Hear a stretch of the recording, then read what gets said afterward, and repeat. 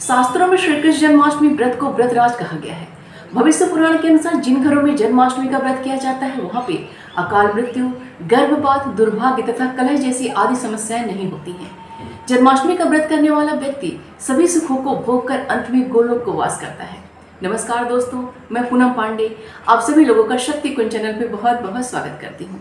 भगवान श्री कृष्ण सभी के दुलारे और सभी के प्यारे हैं। क्योंकि किसी घर में ये अपने युगल स्वरूप में, अर्थात राधा कृष्ण के रूप में पूजे जाते हैं। तो किसी घर में ये अपने बाल स्वरूप में, अर्थात लड्डू गोपाल के रूप में पूजे जाते हैं और किसी के घर में ये ठाकुर के रूप में विद्यमान है। अर्थात कहने का तात्पर्य है कि हर घर में ये विद्यमान है और हर घर में इनका राज है। हर किसी के आराध्य है ये, क्योंकि हर घर में ये किसी न किसी रूप में विद्यमान है। अपने आराध्य का जन्मोत्सव मनाना बहुत ही सौभाग्य की बात होती है। भगवान श्री कृष्ण का जन्मोत्सव मनाने से एक आनंद और एक खुशी की प्राप्ति होती है। और इसके साथ ही साथ भगवान श्री कृष्ण की उपासना करने से व्यक्ति के जीवन में चल रही सभी समस्याओं का अंत होता है। भगवान श्री कृष्ण के जन्मोत्सव को कई नामों से बुलाया जाता है। जैसे श्री कृष्ण जन्माष्टमी, गोकुलाष्टमी श्री कृष्ण जयंती और श्री जयंती के नामों से भी जाना जाता है। श्रीमद् भागवतम और भविष्य पुराण के अनुसार भगवान श्री कृष्ण का जन्म भादो माह के कृष्ण पक्ष की अष्टमी तिथि को बुधवार के दिन रोहिणी नक्षत्र में, चंद्रमा जिसमें वृक्ष राशि में गोचर कर रहा था, उसमें निशीत काल में अर्थात मध्य रात्रि के समय में हुआ था। इसी के आधार पर प्रत्येक वर्ष भादो माह के कृष्ण पक्ष की अष्टमी तिथि को यह जन्माष्टमी का पर्व मनाया जाता है। लेकिन हर साल भादो माह के कृष्ण पक्ष की अष्टमी तिथि को सारे ऐसे ही गोचर, सारे ऐसे ही योग प्राप्त हो, ये संभव नहीं होता है। इसलिए हर साल अष्टमी तिथि को जितने ज़्यादा से ज़्यादा योग प्राप्त होते हैं, उसी के आधार पर यह जन्माष्टमी का पर्व मनाया जाता है। वीडियो में आगे बढ़ने से पहले आप सभी से रिक्वेस्ट है कि प्लीज़ वीडियो पसंद आए तो इसे लाइक कीजिए और ज़्यादा से ज़्यादा लोगों तक शेयर कीजिए, क्योंकि आपके एक लाइक से बहुत ज़्यादा मोटिवेशन मिलता है आगे अच्छे अच्छे वीडियोज़ बनाने के लिए। आप लोग के सपोर्ट से जब आप शेयर करते हैं तो एक सपोर्ट मिलता है, उससे भी बहुत ज़्यादा मोटिवेशन मिलता है आगे अच्छे अच्छे वीडियोज़ बनाने के लिए।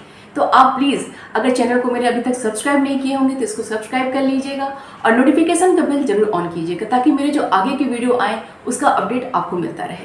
तो चलिए, शुरू करते हैं आगे का वीडियो आइए जानते हैं कि 2023 में जन्माष्टमी का पर्व कब मनाया जा रहा है।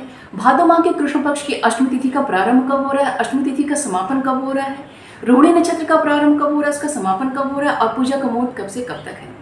6 सितंबर दिन बुधवार की दोपहर में तीन बज के सैंतीस मिनट से अष्टमी तिथि का प्रारंभ हो रहा है और सात सितंबर दिन गुरुवार को दोपहर में अर्थात शाम हो जा रहा है, चार बज के चौदह मिनट पे अष्टमी तिथि का समापन हो रहा है। और रोहिणी नक्षत्र का जो प्रारंभ हो रहा है, वो 6 सितंबर दिन बुधवार की सुबह में ही नौ बज के बीस मिनट पे हो रहा है और रोहिणी नक्षत्र का समापन जो हो रहा है, वो सात सितंबर दिन गुरुवार की सुबह में दस बज के पच्चीस मिनट पे हो रहा है। तो ये थी अष्टमी तिथि की जानकारी और नक्षत्र की जानकारी। अब जानते हैं कि यह पर्व मनाया कब जा रहा है। हर साल की तरह इस साल भी जन्माष्टमी का पर्व दो दिन मनाया जा रहा है। कुछ जगहों पर यह पर्व 6 सितंबर दिन बुधवार को मनाया जा रहा है और कुछ जगहों पर यह पर्व 7 सितंबर दिन गुरुवार को मनाया जा रहा है। सामान्य गृहस्थ जन, जो सामान्य गृहस्थ के लोग हैं, वो 6 सितंबर को जन्माष्टमी का पर्व मना रहे हैं। लेकिन इस्कॉन जैसी संस्था जो है, जो भगवान श्री कृष्ण की बहुत बड़े प्रचारक हैं, वो 7 सितंबर दिन गुरुवार को जन्माष्टमी का पर्व मना रहे हैं। दोनों ही दिन बहुत ही श्रेष्ठ जन्माष्टमी का पर्व और बहुत ही उत्तम है। आप दोनों में से किसी एक का चुनाव आप करके किसी भी एक दिन आप व्रत कर सकते हैं।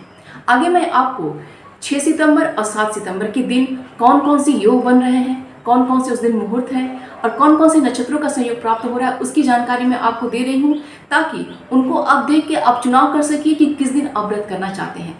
क्योंकि आप व्रत दोनों में से किसी एक दिन भी कर सकते हैं, क्योंकि दोनों ही दिन व्रत का जो दिन है, बहुत ही श्रेष्ठ और बहुत ही उत्तम है। 6 सितंबर को हर्षण योग है और इस दिन वार है, वो जो बुधवार है। इस दिन रोहिणी नक्षत्र प्रारंभ होने से पहले कृतिका नक्षत्र है, उसके पश्चात पूरे दिन और पूरी रात्रि रोहिणी नक्षत्र है। इस दिन आपका चंद्रमा जो है, वो वृषभ राशि में है और पूरे दिन सर्वार्थ सिद्धि योग है। इस दिन रवि योग का संयोग भी हमें प्राप्त हो रहा है। तो इस प्रकार 6 सितंबर का जो जन्माष्टमी का पर्व है, वो अति विशिष्ट होने वाला है। निर्णय सिंधु के अनुसार, अगर भादो माह के कृष्ण पक्ष की अष्टमी तिथि को अर्धरात्रि में अष्टमी तिथि का संयोग प्राप्त हो और रोहिणी नक्षत्र का संयोग भी प्राप्त हो तो उस दिन श्री कृष्ण जन्माष्टमी का पर्व मनाना चाहिए। और इस दिन जब व्यक्ति श्री कृष्ण जन्माष्टमी का व्रत करते हैं, उन लोगों के जो पाप होते हैं, पूर्व जन्मों के, कई जन्मों के पूर्व संचित पाप होते हैं, उन सभी का नाश हो जाता है। 6 सितंबर को जो पूजा का मुहूर्त है, वो रात्रि में, अर्थात निशीत काल में, ग्यारह बज के तैंतीस मिनट से लेकर रात्रि में बारह बज के उन्नीस मिनट तक है। सात सितंबर को जिस समय भगवान श्री कृष्ण का अर्धरात्रि में जन्मोत्सव मनाया जाएगा, उस समय सिद्ध योग रहेगा। और इस दिन वार जो है आपका गुरुवार है। और इस दिन रोहिणी नक्षत्र आपका सुबह में ही दस बज के पच्चीस मिनट पर समाप्त हो जा रहा है, उसके पश्चात मृक्षरा नक्षत्र प्रारंभ हो जा रहा है। और इस दिन आपका चंद्रमा जो है अर्धरात्रि तक वृषभ राशि में है, उसके पश्चात मिथुन राशि में प्रवेश कर जाएगा।